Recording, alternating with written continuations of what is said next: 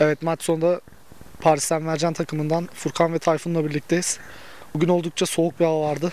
Çekişmeli bir karşılaşma oldu. Ligin güçlü takımlarından Terminator FC ile karşılaştınız. İyi oynadınız.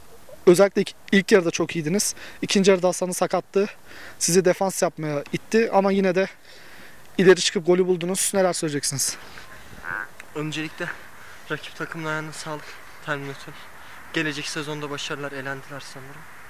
Ha, iyi bir takımız. Şimdi Las Vegas'ta bir maçımız var. Onlarla oynayacağız. Onları da yenip birinci çıkacağız.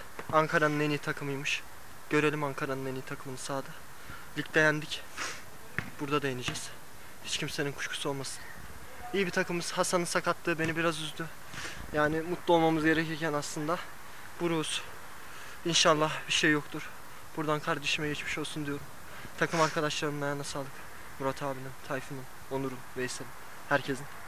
Güzel mücadele, güzel oyun, güzel bir üç puan. İleride daha iyi, daha istekli, daha başa baş mücadeleyle daha iyi olacağız. Hepinize teşekkür ediyorum. Sözü Tayfun kardeşime bırakıyorum. İyi akşamlar. Ee, çok, çok çok fazla diyecek bir şey yok aslında. Hasan'ın sakatlığı bizi çok etkiledi. İkinci yarı tamamen defansa yönelik oynadık.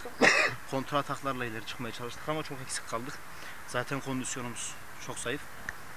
Ee, takımımızın yedeklerinden biri de bugün bize yardımcı oldu köşe sağ, sağ kenarında. Kazanmasını bildik. Terminator elendi. Sıra Las Vegas'ta.